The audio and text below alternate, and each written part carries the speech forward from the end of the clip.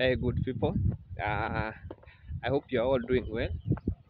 So, for those who are new to my channel, my name is Fred from Kenya.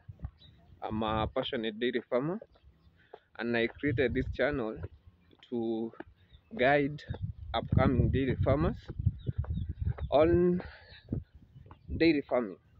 Yeah. So, today I would like to talk about the factors that affects milk production of a dairy cow. So many people are keeping cows, but they don't know how have any clue on what they are doing. So the first thing that affects the milk production of a cow is genetics. So apart from others, the main that affect is genetics. So we have levels of uh, uh, uh, like let's say genetics. When you are inseminating your cow, you have to know the genetics of the the sire. Yeah? And you have to know the character traits that you need uh, that you need in your cow. Yeah? So first of all you have to improve breeding. You have to improve breeding. Until you reach pedigree you have to improve the genetics of your cow yeah? We have the pedigree we have uh, super pedigree it depends. But as a starter you start with foundation and you keep on you keep on until you reach your the, uh, the pedigree. So the first thing that affects milk production is uh, genetics yeah? When you are inseminating your cow you have to choose uh, uh, good genes good character traits yeah. So you start from foundation until you reach pedigree but it takes you some years to reach there. So the second thing that affects milk production is uh, uh, the climate yeah condition of the area that you are rearing your animals or you're keeping your animals. So you, before you buy or you start dairy farming you have to research uh, on the type of the cow that you want to buy and if it fits uh, in the area that you you are rearing.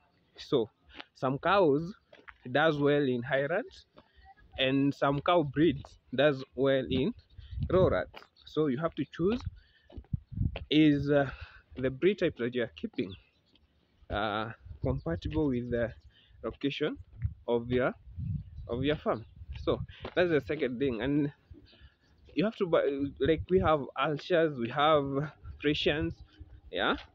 So you have to do research on uh, your farm and know uh, which type of breed that you can be accommodated in your area. So that's the second thing. The third thing we have is about uh, feed and fodder and when we talk of, about feed and fodder what are you feeding your cows? Yeah? You have to ask yourself what are you fe- feeding your cows?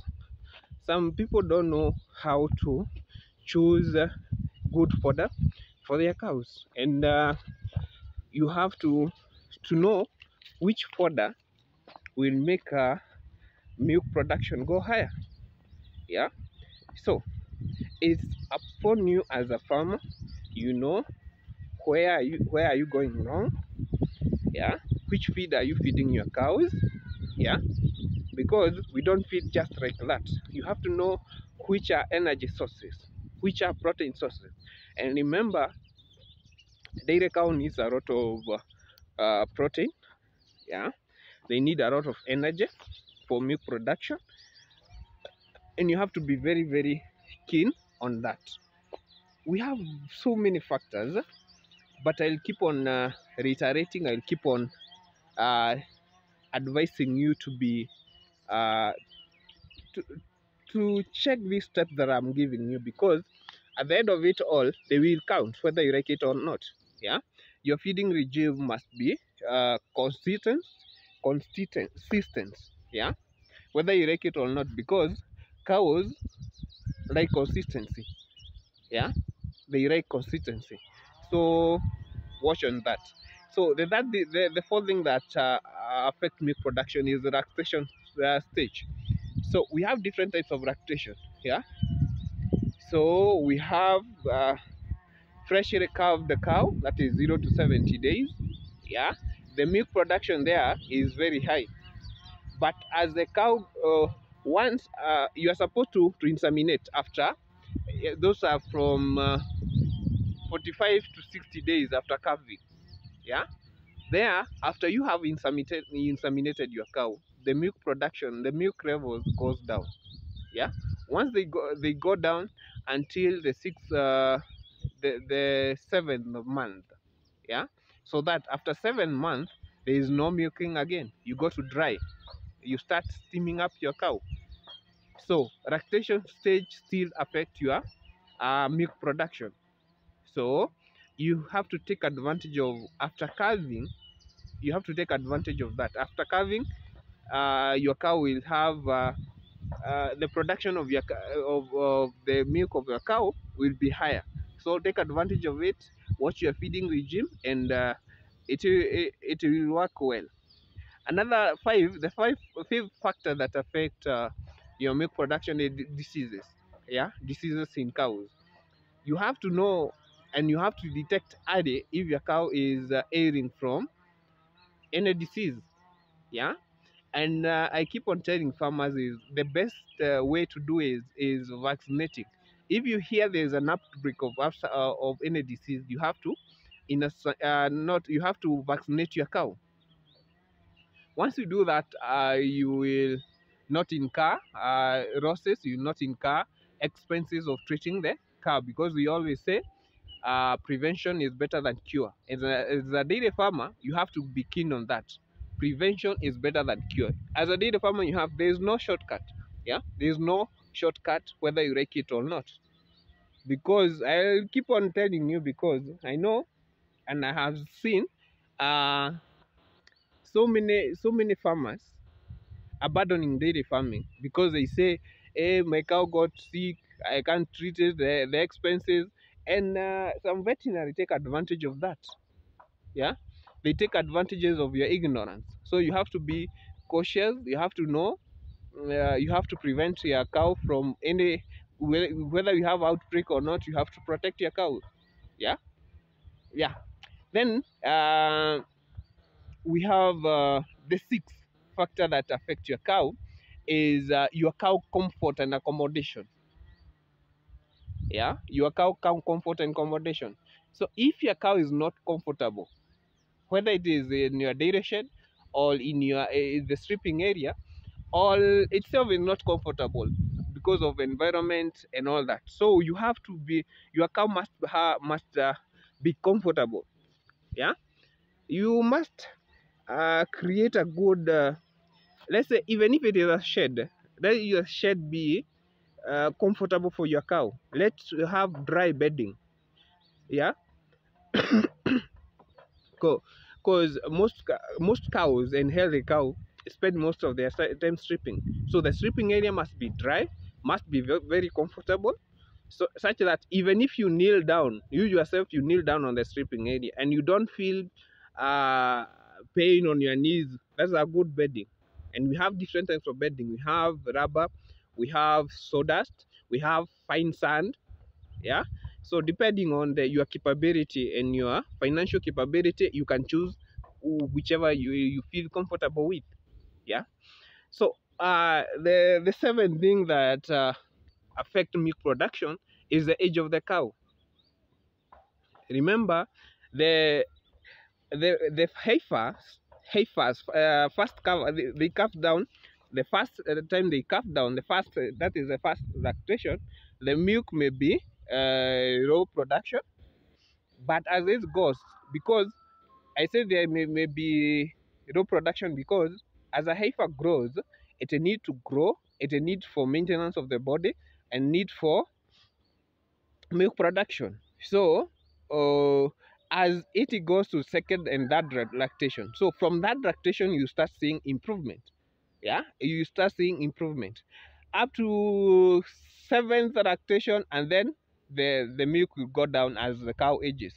So it is advisable you start with if you are starting a dairy farm you start with uh, a heifer an in-calf heifer yeah or fast lactation cow so lactating cow so that uh, it will give you some some heifers along the way and if you want to grow your uh, your your your farm it is advisable you you you be inseminating using sex semen so that uh, it can uh, carve down heifers and uh, the, the farm continues. The, the the the journey continues because i always say this and i'll keep repeating.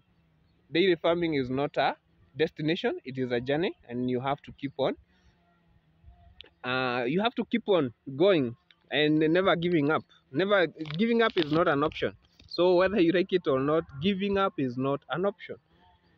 So with those and there are others uh, like uh, let's say number we are number seven. So number eight we can say water intake. Yeah? Are you giving your cow clean fresh water? Are you cleaning the water troughs yeah? Remember during the cold days uh, the cow don't drink so much water.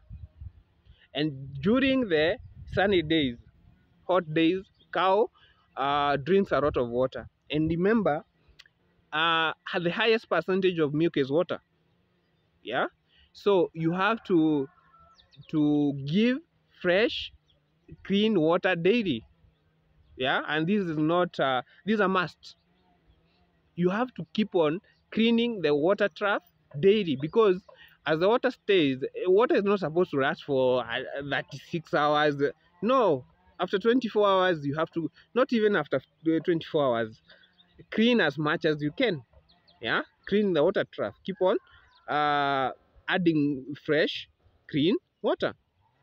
So and uh, i can give a tip here uh, when i say you can uh, during the cold days you can even warm the water for the cow.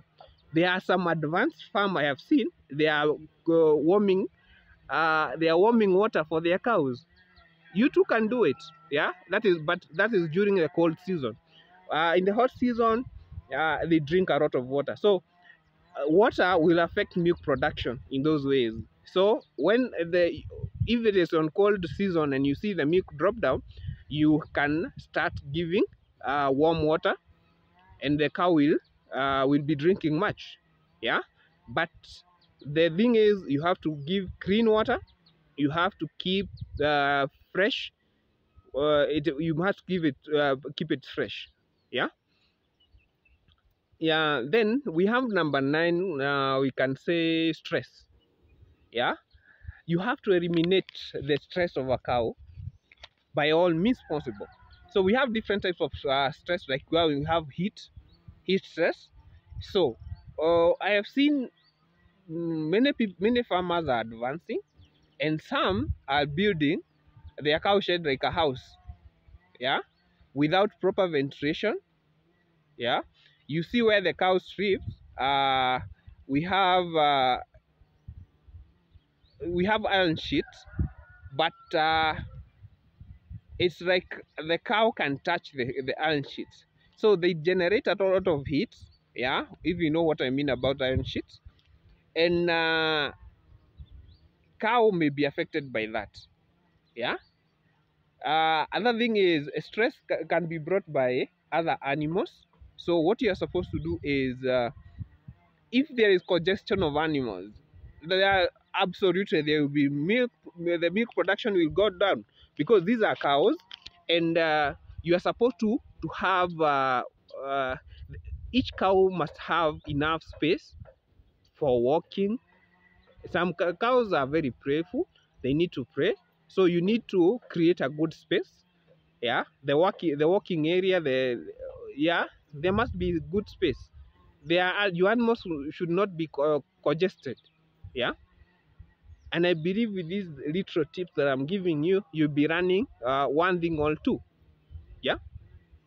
So another thing is uh, uh, milking intervals. So if you decide to to your cow okay but this depends with production. If your cow is producing more than 30 liters you should be uh, milking three times in a day. So if you say like now you'll be milking at 1 a.m. in the morning, uh, uh, 9 a.m. in the morning, and uh, at uh, around uh, uh, 3 p.m. If you be consistent on that, remember cows are, are routine animals. They will know this is time for milking. Yeah, and once they do, they will their their hormone will start letting milk down. So you have to be consistent at the time that uh, you are milking. So if you milk twice a day, be be accurate on the time. If it is five in the morning and five in the evening, you must be consistent on that. Yeah, cows are routine animals, so that there is no other way I can tell you about that. You have to be consistent. Yeah, uh, you have to be consistent on that.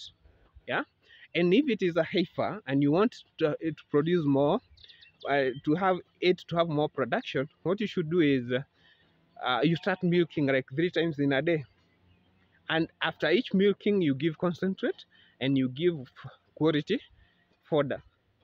When you do, once you do that, you will uh, you will increase your milk production. Hey Georgie, you increase the milk production. So that's another thing.